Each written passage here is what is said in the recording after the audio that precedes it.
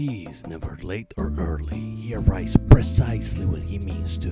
He can speak Elvish in Russian.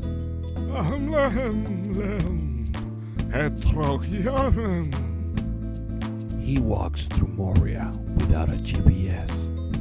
When he went to the Black Gate, the doors were open. He is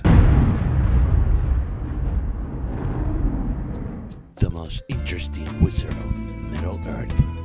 I don't always smoke with halflings, but when I do,